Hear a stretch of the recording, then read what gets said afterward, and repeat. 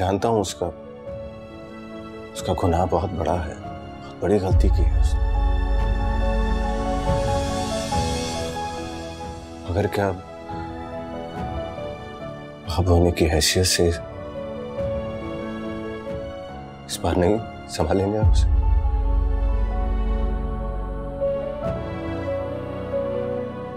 मैं अगर चाहूँ भी तो शायद कर सकूँ उससे होगा नहीं घर से क्या चली गई वो जैसे दिल से ही उतर गई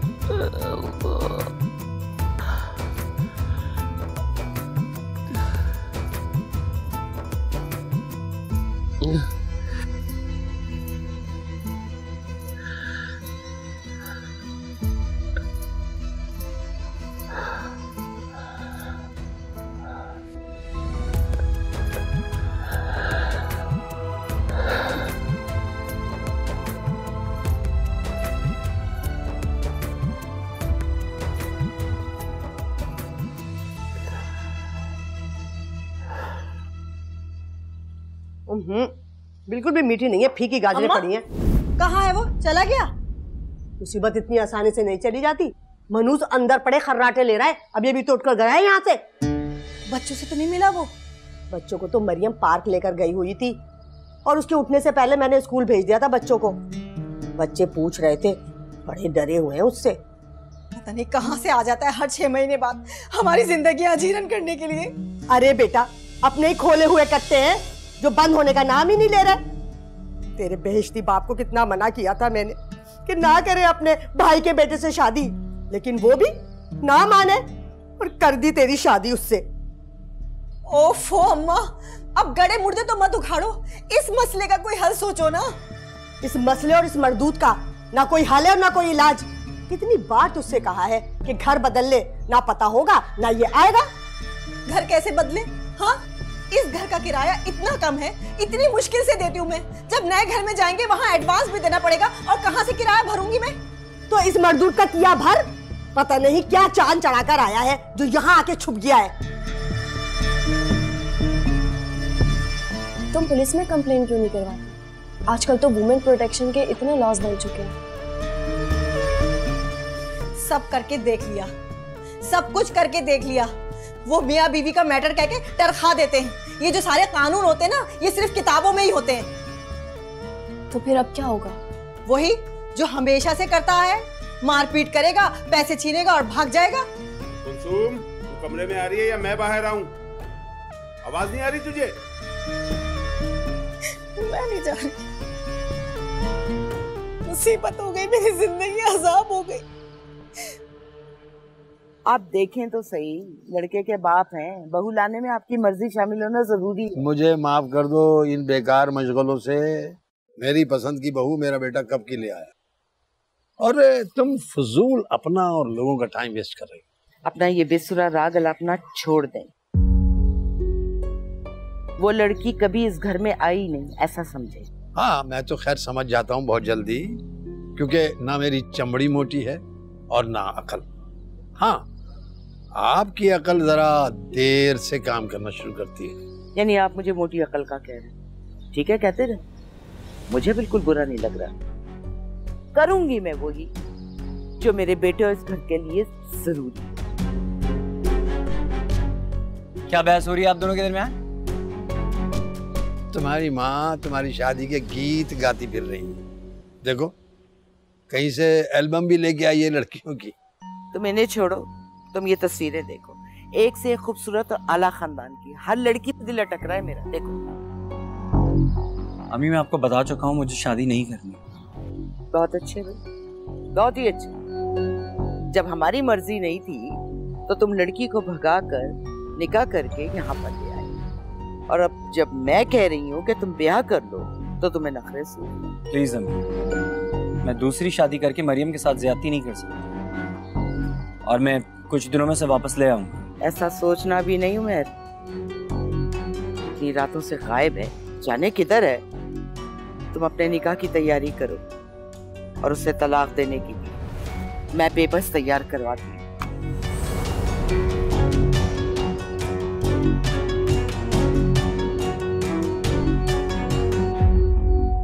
कुलसुम? ओ कुलसुम कहाँ मर गई? सुनाई नहीं देता तुझे? या शोहर की नाफरमान होने के साथ साथ बैरी भी हो गई है तू? हाँ नहीं सुनाई देती तेरी बकवास।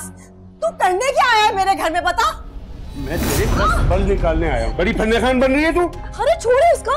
क्या हो गया? आपको प्लीज़ छोड़िए उसे। अरे छोड़ मेरी बेटी को छोड़। शैतान की औलाद पता नहीं कहाँ से आ जाता है। ज़िंदगी अजीरन कर दिए। ओ माई हट। चूंटी की तरह मसल दूँगा तुझे। और ये ले छोड़ दिया तेरी बेटी को। मगर तेरे कहने पर नहीं छोड़ा है।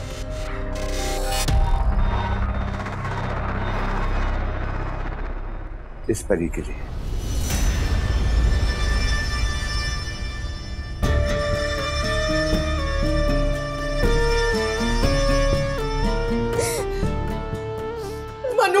नामुराद कहीं का? मर जाए। पता नहीं क्यों आ जाता है हमारी ज़िंदगी अजीरन करने के लिए। अल्लाह पूछेगा इसे। काश अल्लाह ने मुझे बेटा दिया होता। फिर मैं भी देखती, किस तरह मेरी मासूम बच्ची पे जुल्म करता है ये। माई, मुझे कोस्ते की बजाय नाश्ता तैयार करवा नाश्ता, मेरे नहाने से पहले। और कपड़े भी निकलवा देना। प्यार नाल प्यार सजना, असा तेरे आगे दिल हारे सजना। प्यार नाल प्यार अल्लाह सजना पूछेगा इसे। देख लेना एक दिन इंसान मिलेगा हमें भी। चुप हो जा मेरी बच्ची हो जा।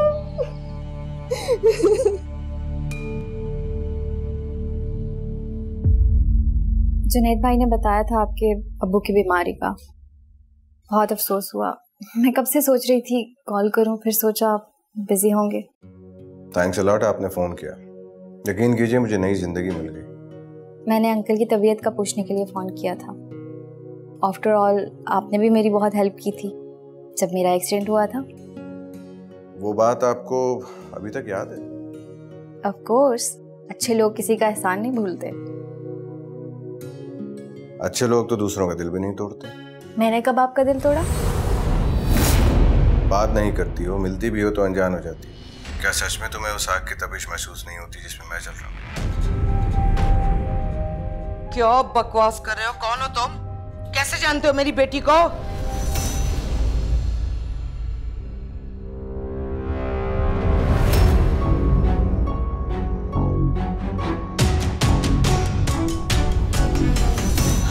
प्लीज़ चुप हो जाओ ना। तुम्हें इस तरह रोता देखकर मुझे बहुत तकलीफ़ हो रही है कुलसुम। प्लीज़ चुप हो जाओ। मैं क्या करूँ मरियम? आँसू मेरे इख्तियार में ही नहीं है। जैसे उस खबीस से पीछा छुड़ाना मेरे बस के बाहर है। तुम उससे खुला क्यों नहीं ले लेती हो? मेरे पास पैसे कहाँ हैं खुला के लिए? वकीलों के दफ्तरों के चक्कर अदालतों की ख्वारी ये सब मैं अफोर्ड नहीं कर सकती। मैं तो एक दिन जॉब की छुट्टी भी अफोर्ड नहीं कर सकती। तुम नहीं जानती मेरे घरेलू हालात। मैं महसूस कर सकती हूँ कि तुम अपने बच्चों को और इस घर को कैसे लेके चल रही हो। बस यही सब बातें तो इस खबीस आदमी से बर्दाश्त नहीं होती। इसका बस चले तो अपने साथ साथ हम सबको भी बर्बाद कर दे। तो फिर क्या हाल है? इसका सिर्फ़ एक ही हाल है कि हम दोनों में से कोई एक मर जाए। अल्लाह ना करे कि तुम्हें कुछ हो। अभी तुम्हारे छोटे बच्चे हैं अपने बच्चों का ख्याल करो। बस यही बात तो है। सिर्फ़ एक यही वजह है जो मैं खुद को रोक लेती हूँ। वरना इस खबीज के सीने में इतने घाव लगाऊँ, इतने घाव लगाऊँ। किसी दूसरा सांस ही नसीब ना हो।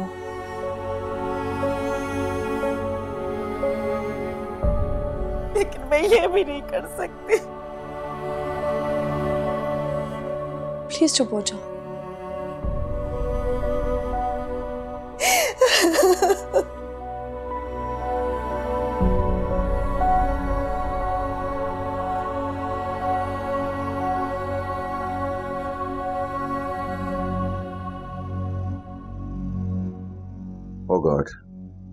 ये क्या किया मैंने?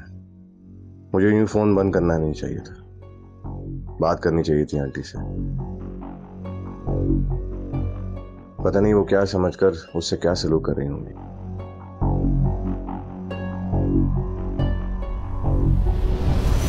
झूठ बोलती हो कि तुम उसे नहीं जानती? वो जो वहियात बातें कर रहा था ना इससे तो साफ़ पता चलता है कि तुम इस खेल में बराबर की शरीक हो। आई स्वेयर अम्मी मैं ऐसी नहीं हूँ। तुम ऐसी ही हो घटिया किरदार की जैसी तुम्हारी भाभी है। तुम्हें क्या लगा? तुम्हारे भाई का गलत फैसला मान लिया तो तुम्हें भी छूट मिल जाएगी। मैंने कुछ नहीं किया अम्मी। आवाज़ नीचे कर अपनी। की तरह। अपनी भाभी के वालदेन की तरह मुझे कमज़ोर ना समझना। क्या हो रहा है यहाँ पे? तूने मारा इसे? शुक्र करें मारा है। जॉन से नहीं मार दिया। बात क्या हुई? आपकी औलाद ने तो कयामत ढाके रखी हुई है। हम तो मेहर को ही समझ रहे थे। आपकी बेटी साहिबा फ़ोन पे किसी से बात करते हुए पकड़ी गई हैं। हाँ तो किसी से बात कर रही थी। इतनी सी बात को लेके तुमने घर में तूफ़ान उठा दिया। क्या मतलब है आपका? मतलब ये किसी लड़के से फ़ोन पे बात कर रही थी और आपके लिए इतनी सी बात है? बिल्कुल। किसी से बात करना कोई बुराई नहीं है। और इसका मतलब हरगिज वो नहीं है जो आपके छोटे से जहन में गुस्सा हुआ खबरदार, आज के बाद अगर बेटी पर हाथ उठाया तो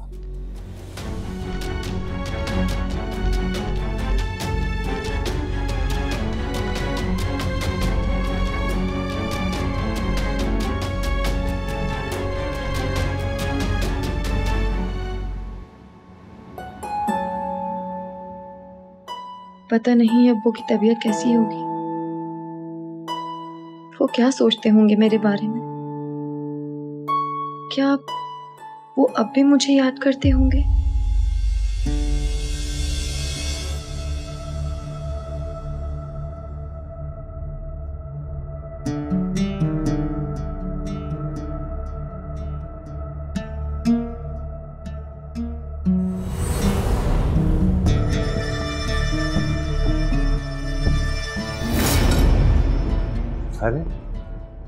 डर गई मेरी शहजादी। मैं इतना खौफनाक तो नहीं हूँ। तुम यहाँ क्यों आए हो? जाओ प्लीज़ यहाँ से। कमाल है। मैं सारे घर में तुम्हें ढूंढता फिर रहा और तुम होके मुझसे छुट्टी फिर रही हो। बकवास बंद करो और जाओ यहाँ से। अरे ना ना ना। गीले को मुंहजोरा होते बिल्कुल भी अच्छी नहीं लगती। और और तुम तो इतनी नर्म हो। छोड़ो मेरा। ये गर्मी तुम पर बिल्कुल भी अच्छी नहीं लगती। कुलसुम उसको क्यों बुला रही हो? ये तो हमारी आपस की बात है ना क्या हो? क्या कर रहे हो यहाँ पे? मैं खाने का पूछ रहा हूँ और क्या कर रहा हूँ यहाँ पर? भूख लगी है खाना चाहिए। तुम बड़ी फूअड़ औरत हो। इसीलिए तुम्हारी और मेरी कभी बनी नहीं। हराम है। हराम है जो कभी प्यार से कुछ बनाकर खिलाया हो।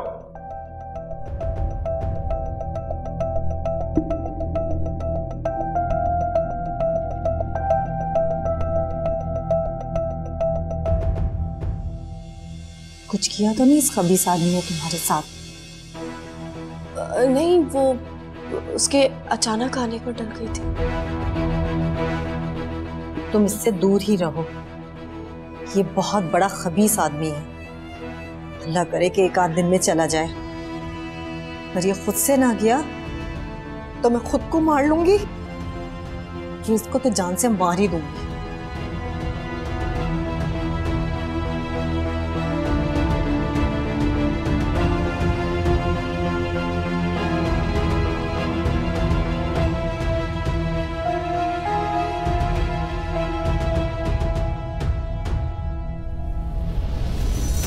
बाप को हमनवा बनाकर ये ना समझना कि मैं तुम्हें छोड़ दूँगी।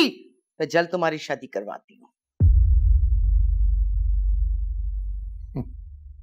तुम फ़िक्र नहीं करो बेटा ये ऐसा कुछ नहीं करेंगी। बस गुस्से में कुछ बोल देती हैं। सलामकुम अम्मी अबू ये मेरा बहुत अच्छा दोस्त है जुनेद और जुनेद ये मेरे पेरेंट्स हैं और ये मेरी छोटी बहन सबा ए, इस बच्चे को मैंने कहीं देखा है लेकिन आ, याद नहीं आ रहा मैंने कहाँ देखा है। अब वो आप मेरे किसी भी दोस्त से मिलते हैं ना आप यही कहते कैसे हो बेटा? वैसे मैंने इससे पहले तो मैं देखा नहीं। नई नई दोस्ती हुई है क्या? आ, अम्मी हमारी मुलाकात तो बड़ी हादसाती तौर पे हुई थी लेकिन बहुत ही कम वक्त में बड़ा अच्छा दोस्त बन गया ये मेरा। और इसकी बेहिसी चेक करें यहीं करीब में आया हुआ था। तो, तो शुक्र है कि मेरी नज़र पड़ गई इस पर तो मैं उसको ज़बरदस्ती अपने घर ले आया वरना वहीं से जा रहा था। भाई बहुत अच्छा किया बेटा। सबा मेहमान आए भाई कुछ चाय पानी का इंतज़ाम करो ना। अरे नहीं अंकल इसकी ज़रूरत नहीं थी। मैं तो बस ऐसे ही नहीं बेटा ऐसे नहीं। हम बड़े मेहमान नवाज़ लोग हैं। ऐसे नहीं जाने देंगे तुम्हें? वो मैं कुछ लेकर आओ ना? जी मैं बिल्कुल ले आता हूँ। तो बैठ मैं आता हूँ। आ जाओ बेटा। आ भाई। बहुत अच्छा लगा तुमसे मुलाकात करके। और दोस्ती ऐसी होनी चाहिए। भाई जब आओ दोस्त के इलाके में तो उससे मिल के ज़रूर जाओ। इस मुस्टंडे को हमारे हवाले करके खुद तो इमरजेंसी ड्यूटी पर चली गई और इस सांड को हमारे हवाले कर गई है। मुझे तो धड़का ही लगा रहता है मेरे तो दिल हौलता रहता है। इसकी वजह से पता नहीं कब मरेगा। या अल्लाह, इसे उठा ले। कुछ तो हमारे ऊपर इनायत कर दे।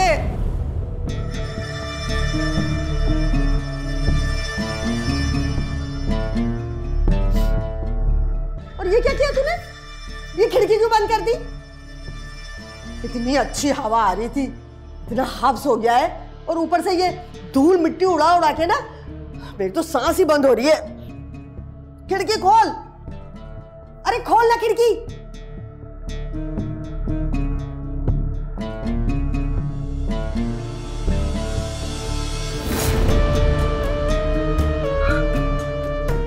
रात को जब ये बुढ़िया सो जाएगी ना तो तुम मेरे कमरे में आ जाना। और अगर तुम मेरे कमरे में नहीं आई ना तो मुझे तेरे रूम में आने में जरा देर नहीं लगेगी।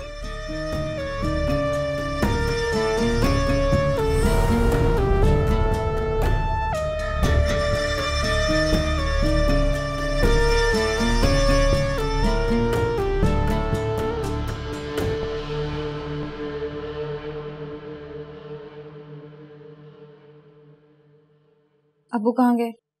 उनका भी फ़ोन आ गया था वो सुनने के लिए गए। आप क्यों आ गए यहाँ पर? मेरा तमाशा देखने या मेरा तमाशा बनाने? पहले ही आपकी वजह से बहुत फंस चुकी हूँ।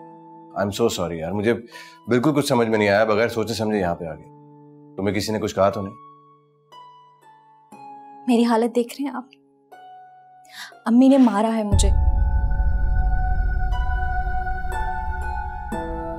बहुत गलत समझ रही हैं मुझे और अब दुनिया की कोई भी ताकत उनकी सोच को बदल नहीं सकती। इसीलिए तो मैं यहाँ पे आया कि तुम्हारी पोजीशन में अम्मी के सामने क्लियर करूँ सारा मामला मैं अपने ऊपर ले लूँगा। पागल तो नहीं है आप? आप मेरी अम्मी को जानते नहीं हैं। भाई तो शायद हम दोनों को छोड़ दे लेकिन अम्मी हम दोनों को गोली मार देंगी। देखो मुझे किसी की परवाह नहीं। अगर फ़िक्र है तो सिर्फ़ तुम्हारी। और मैं सब कुछ सहने के लिए भी तैयार हूँ। खुदा के लिए आप यहाँ से चले जाएँ, आप सब खराब कर देंगे। आप क्यों आ गए यहाँ पर? सबा, तू कहाँ जा रहा भाई? और सबा, तुम मेरे दोस्त को सब चाय पिला के चलता करोगी। ये लो, जाओ से निकालो। तशरीफ़ रखिए।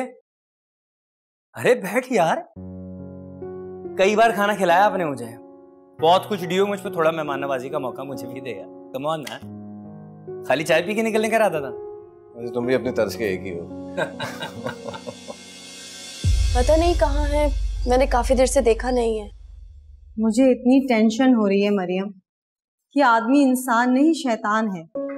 कब जाने क्या कर जाए कुछ पता नहीं चलता। और ऊपर से तुम घर में अकेली हो। तुम्हारी अम्मी है मेरे साथ। तुम परेशान मत हो। अरे अम्मा ना तीन में है ना तेरह में। वो बेचारी कुछ भी नहीं कर सकती। मरियम तुम अंदर से दरवाज़ा लॉक करके बैठना। हाँ बच्चे ट्यूशन सेंटर से आ जाए मैं उन्हें अंदर लेके बैठ जाऊँगी। वैसे तुम बताओ तुमने इस सिलसिले में बात की किसी से? कोशिश की थी मैंने लेकिन ये बड़े लोग हैं। इनके पास हमारे लिए टाइम नहीं है। इनके अपने मसाइल हैं।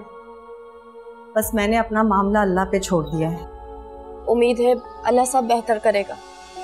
ये जो जीना है ना ये हमारा बुरा वक्त है। अल्लाह से दुआ करो कि ये बुरा वक्त हमारे सरों से टल जाए। यकीन करो मरियम अब तो जुल्म सहते सहते मैं थक सी गई हूँ। इनशाला इंशाल्लाह। अल्लाह हाफिज।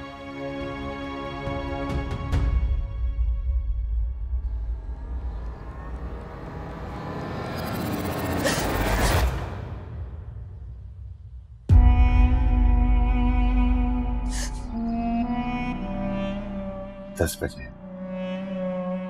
क्या दे दो?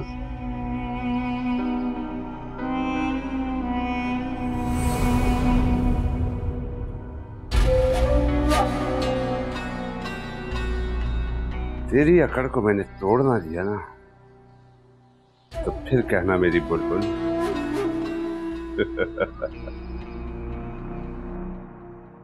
अम्मा, शुक्र है। आपका बुखार अब उतर गया। हाँ भाई अल्लाह का लाख लाख शुक्र है जो उसने मुझे सेहत दी। वरना मेरी औलाद ने तो मुझे मारने में कोई कसर नहीं छोड़ी। हद करती हैं आप अम्मा। मैं ऐसा क्यों चाहूँगा? आप ही तो मेरी जन्नत है। मगर वो तेरी बीवी तो यही चाहती है ना कि कब ये बुढ़ी मरे और कब वो रानी बन के इस घर पे राज करे।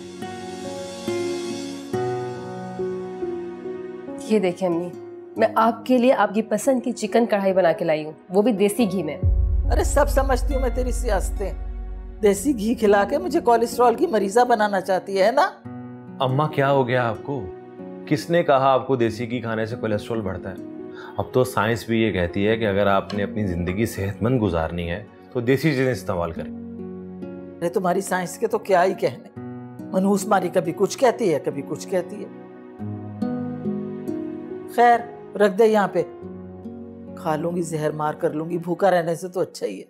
मैं आपको खुद खिलाती हूँ अम्मी जान अरे बस बस रहने दो। क्यों कर रही हो मेरी इतनी लल्लो चप्पो? हैं? किस लिए बन रही हो इतनी मीठी? खूब समझती हूँ मैं। मेरे बेटे को दिखाना चाहती हो कि कितनी खैर खा हो तुम मेरी। अम्मा हद हो गई है। वो इतने खुलूस से कर रही है सब कुछ। अरे बस रहने दे कोई खुलूस वुलूस नहीं। सारी ड्रामेबाजी है इसकी शोहर का दिल मुट्ठी में करने के लिए। बड़ी सीखी सिखाई सियाणी बीवी मिली है तुझे।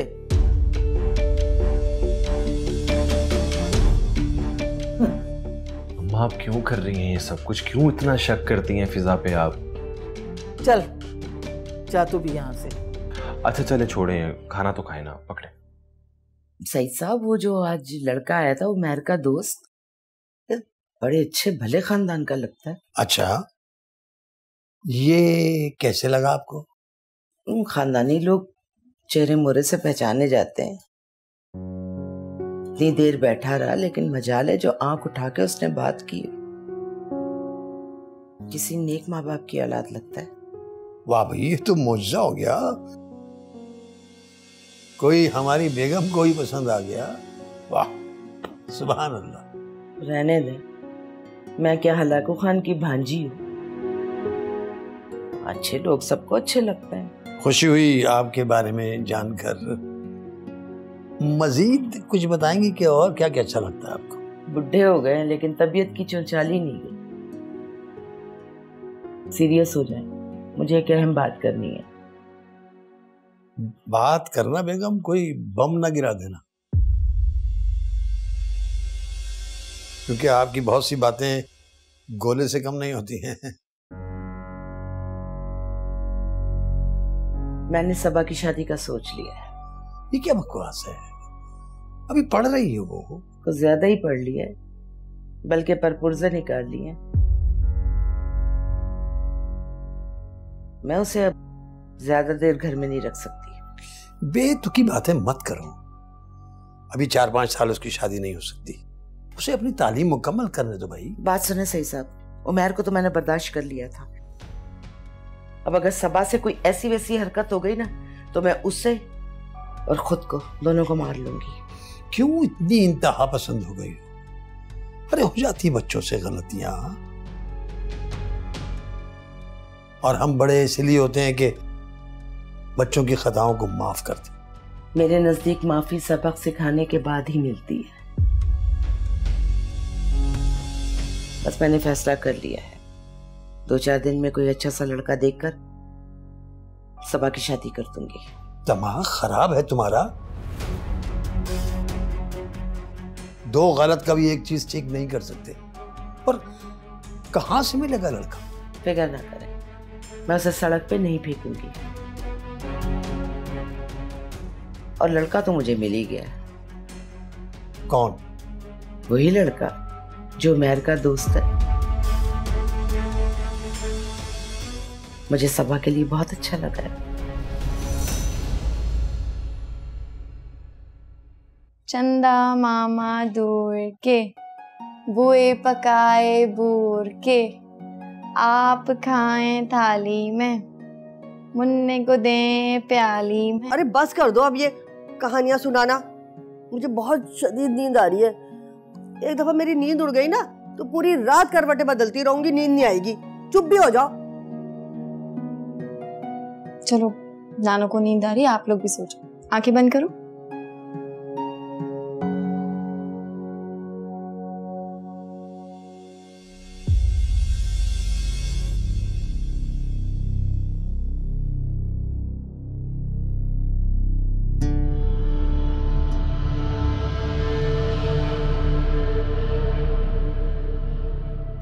ये अभी तक आई क्यों नहीं?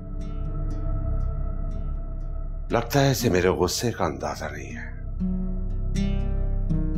ये समझ रही है जीले ने बकवास की थी। देखता हूँ इसको मैं।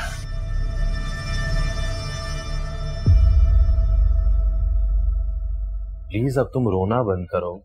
मैं अम्मा की तरफ़ से कितनी बार तुमसे माफ़ी मांग चुका हूँ। मैंने कब कहा है यासिर कि आप जा जाके माफिया मांगे? लेकिन आपको तो अंदाज़ा ही नहीं है। कि मेरे दिल को कितनी तकलीफ़ पहुँची है उनकी बातों से। वो पुरानी सोच की है। तुम्हें इग्नोर करना शुरू कर दो। मैं कितना इग्नोर करूँ उनको? अम्मा की तो हमेशा से यही कोशिश होती है कि मेरे दिल को वो चीर फाड़ दे और वो कामयाब भी हो जाती है। आखिर मेरा जुर्म क्या है? कसूर तो मेरी बहन का है। मैं तो वैसी नहीं हूँ। पुराने लोगों का यही मसला है। वो अपनी ही दुनिया में रहते हैं। नई सोच और असूल उन्हें कबूल नहीं होते। ठीक है। जो उनको सोचना है ना वो सोचे। लेकिन कम अज कम मेरे मुँह पे तो ना कहे। अच्छा मैं उनसे बात करूँगा। मैं अम्मा को समझाने की पूरी कोशिश करूँगा। और इंशाल्लाह वो मुझे रद्द नहीं करेंगी। तुम ये रोना बंद करो प्लीज़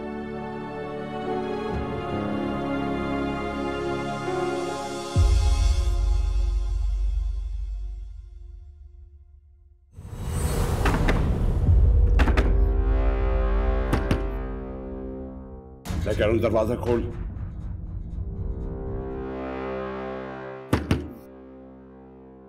दरवाज़ा खोल, वरना अच्छा नहीं होगा।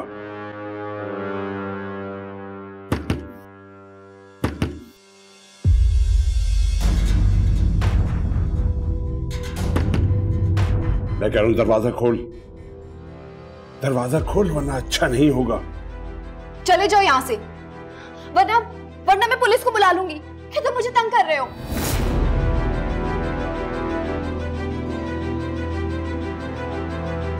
ये ऐसे नहीं मानेगी।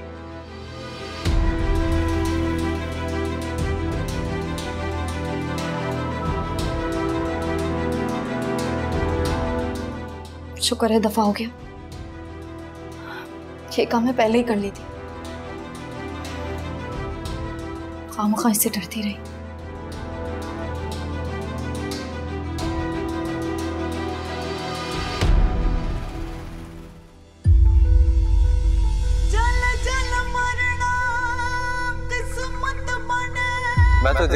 ताला की तारीफ़ कर। उसने कितनी फुर्सत से बनाया।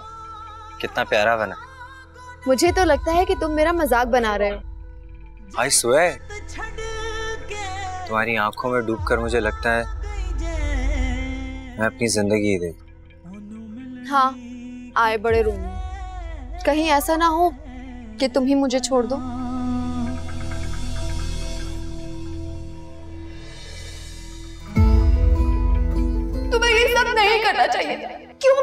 मुझे क्यों मुझसे मेरी जन्नत छुड़वा दी? आखिर क्यों किया तुमने ये सब? तुम्हारा मुजरिम हूँ बल्कि मैं सबका मुजरिम तुम जितना मारना चाहती हो मुझे मार। मार लो मुझे। मार तो तुमने मुझे दिया। जीते जी। देखो एक एक लाश बन के रह गई हूँ मैं जिसमें से ताफुन उठता रहता।